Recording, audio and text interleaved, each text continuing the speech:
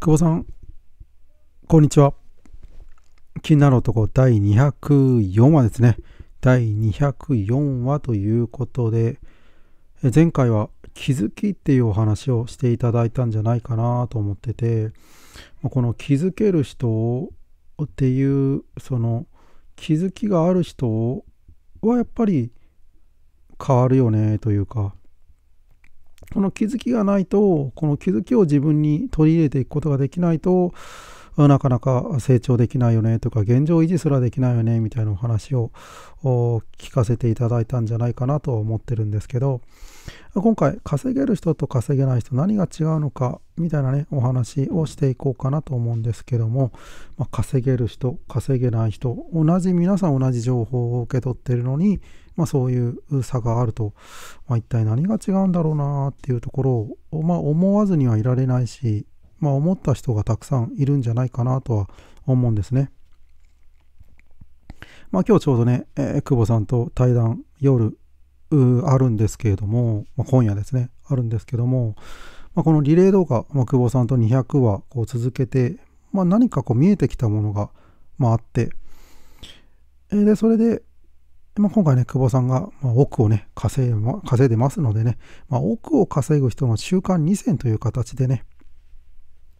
久保さんのね、えー、久保さんとリエ動画に役話して、えー、見えてきたものを少し、えー、シェアさせていただきたいなと思いまして、こんな動画を作らせていただきました。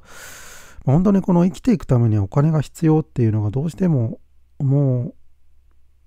うどうしようもない現実でもう衣食住、何をするにもお金がかかるっていう、どどうしたってお金かかるよねっていうとこで、まあ、そこをしっかりと分かってると、やっぱりお金は稼がなきゃいけないっていう思考になってなっていってでじゃあ億稼ぐ人の考え方と、まあ、普通の人の考え方って、まあ、どこが違うのかなみたいなね。まあどこが違うって、まあ、確実に違うっていうところが、まあ、あるので。まあそういうところをね、えー、もう一度ちょっと話せたらいいなというところですね。200は続けて見えてきたものということで、じゃあ早速、億を稼ぐ人の習慣2選ということで、まず1つ目ですね。まず1つ目、やっぱりここかなと思います。もうみんながね、言ってるし、本当にこんなの分かってるよって言われなくても言知ってるかもしれないですけども、即行動できるっていうところですね。即行動できる。で、億稼いでる人は即行動できますというところで、久保さんはすぐ行動しておりますと。いうところですね。じゃあ普通の人はやっぱり、えー、まあ、すぐ行動できないよねっていうとこで、まあ人はね、一回聞いただけでやっぱ変わらないっていうかなかなか変えれないと思うんですね。普段の生活があるんで、普段の生活から急になんか新しい情報を聞いてパーンってね、スパーンって変えれるんであれば、まあそれはもうすでに普通の人じゃないと思うんですけど、まあこの変わってないからだから普通の人なんですけど、例えばまあ、いいこと聞いたよと、こんなことを、こんな稼げる情報を聞きましたよ、つっても、まあ、なかなか行動までいけないわけですよね。まあ、それはね、自分もそんなのすぐいけるわけじゃないんで、偉そうなこと言えないんですけど、ただその気づいて、おお、これいいなと思ったけど、まあ、すぐ忘れちゃうみたいなね、すぐ忘れちゃうみたいなね。えー、で、やっぱこの奥稼ぐ人のは、やっぱ柔らかい脳の使い方をしてるなっていうのはすごく感じていて、で、柔らかいっていうのはどういうことかっていうと、奥稼ぐ人はすぐ行動できる脳ですね。すぐ行動できる。パッとね、パパーンとこう行動しちゃうみたいな。まあ、子供みたいな感じですね。ちょっと子供っていう表現があるんですけど、あの、柔軟性があるっていうか、早いっていうかね、あ、もう、まあ、すぐ飛びつくっていうのが表現、なんか表現悪い方に行っちゃうんですけど、あの、なんかこう、いい、いいものをすぐ自分に取り入れるって言いたいです。ちょっとね、自分の言葉があまりに稚拙で申し訳ないんですけど、本当にいいものをすぐ取り入れるっていうところをしてるなっていうのはすごく感じますね。やっぱりこの普通の人っていうのは脳の大部分が機能停止してるんじゃないかなっていう思っていて、まあ、これは言い換えたら思考停止してるって言い方もするんじゃないですか。これは悪い意味じゃなくて、まあ、普段こう会社に行って、会社に行って帰るしか、そのルーチンしかしてないんで、もうどうしようもないかなと思って、朝会社に行って仕事して帰っていくって、その生活の中で生きてるんで、どうあがいたってこの新しいことが入んないんじゃないかなと思ってるんですね。いいこと聞いても。だからもうすぐに行動できない脳というか、すぐに行動できない生活習慣になってるから、まあ仕方ないっちゃ仕方ないのかなと思っていて、で、その脳をね、活性化する方法として、え、まあ頭でっかちまあ、頭でっかじゃないよって、これ聞いてる人なんで全然頭でっかじゃないよって言われればそれまでなんですけど、まあ、その考え方を壊すために、やっぱりこの行動できた人ってやっぱ何度も何度もいい情報っていうのを繰り返して聞いている傾向があるなと思っていて、この何回も繰り返し繰り返し聞くことによって、まあ、頭に定着させて、そして脳を目覚めさせることですね。まあ自分もこうやってリレー動画、久保さんと200はこうやり続けてやって、やっぱ徐々に徐々にこう脳が目覚めてきたというか活性化してきたんですよね。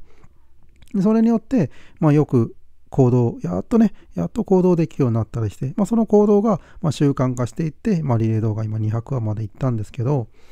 まあね、そもそも億稼ぐ人ってのもすぐ行動できるんで、まあ、そういうことは、こんな習慣はいらなくて、もうこれがもう染みついてるんで、まあ、それがもうすでに、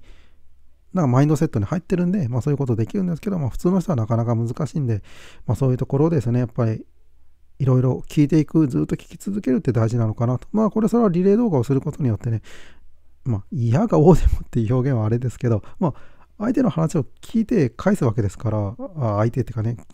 そのね、リレー相手の話を聞いて聞くわけですから、まあ、嫌でも耳にね、入りますんでね、これも一つのリレー動画の素晴らしさなんじゃないかなと思ったりもいたします。はい、そして、えっと、ちょっとなんか表現があまり苦手で申し訳ないですね。はい、億稼ぐ人の習慣2選、2つ目ですね。まあ、誰でもできることを誰よりもやってるなとは思っていて、まあ、これ稼ぐことの特別な魔法なんてないんだよっていうところで、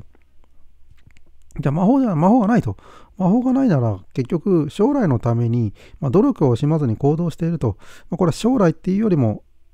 自分の明日のためにって言い換えてもいいと思うんですけど、でその億を稼ぐ人ってのはやっぱ才能がある人ではないと。いや、まあ才能ある人がいるかもしれないですけど、まあ、才能が決してある人ではないんじゃないかなっていうのはやっぱり感じていて、だから才能がないと稼げないっていうとこじゃなくて、まあ、誰でもやっぱできることをかなり徹底的にやり込んでるな続けてるなっていうところはすごく感じていてそのまあ奥稼ぐ人はそれが当たり前なんですねだからもうこの徹底的にやるなんてことはまあ別に普通のことなんでまあ当たり前だよっていう当たり前がそれが基準なんで別に他の人からしたらねえっていうとこなんですけど、まあ、奥稼いでる人にだってはそれが普通みたいな。で、今回で言うと、まあ、ショート動画、ショート動画ね、えー、来年から、来年2月から収益化する。そして今ね、すごいやっぱり回る。あ要はその再生回数がすごく、まあ、えぐく回るっていうところがあるんで、ね、稼げると思ったらもういろいろ試してみるわけですよね。で、このショート動画撮るってそんなに難しいことを全然やってないわけですよ。まあ言うたらスマホでこうポチッとね、数秒間動画を撮ってるわけで、それ何かのついでですね、わざわざまあ撮り行ってる撮って行ってる時もあるかもしれないですけども、そこまでね、そう頑張ってネタを探そうっていうのも日常のどっかのところをこう切り取ってるわけですよね。10秒間か20秒間ぐらいね。で、この繰り返しを確実にやっているっていうところですね。で、このショート、YouTube ショートって、まあ、スマホがあれば誰でもできるわけですよ。だから別に条件がどうっていうわけでもなくて、みんな同じなんですよ。スマホみんな持ってますし、みんな動画撮ってる。みんな動画撮れるんで、動画撮れないわけないんでね。まあ、10秒あればショートできるんで、本当にこの、やるかやらないかだけの本当に世界になっていって、まあ、やればね、ややってアップロードしてたらいつの間にか回ってたりするんで、1万回とかね、どうかしたら5万回とか10万回とかね。なんで、この YouTube に抵抗ある人は、ちょっと YouTube で動画上げるのってなかなか難しいよなって思う人でも、このショートって超簡単なんで、まあ、それはすごいあるなとは思ってますね。はい、ということ、というところでね、えー、YouTube ショート、まあ、興味がある方とかね、攻略法を知りたい方っていうのはね、まあ、今回、久保さんとね、9時から、今夜が、今夜、えー、久保さんと、まあ、ズーム対談ありますんでね、まあ、ちょっと、お話、耳をね、傾けるっていうのもいいのかなと思ったりもいたします。はい、今回はね、えー、稼げる人と稼げない人、何が違うのかっていうところでね、多く稼ぐ人の2選みたいなことをやってみたんですけど、本当にやっぱり、違いますね。やっぱ何かと。うん、別にそれがその才能レベルではなくて、本当に小さい積み重ねだったりするので、まあ、そのね、考え方だったりを少し、えー、垣間見るっていうところでも、こう、ズーム対談、ちょっと話を聞いてみるだけでも全然違ったりするんじゃないでしょうか。はい、ということで、えー、気になる男第204話ですね。第204話、こんな感じで終わっていこうかと思います。ありがとうございます。はい、失礼いたします。覆面 YouTuber たかがお送りさせていただきました。バイバイ。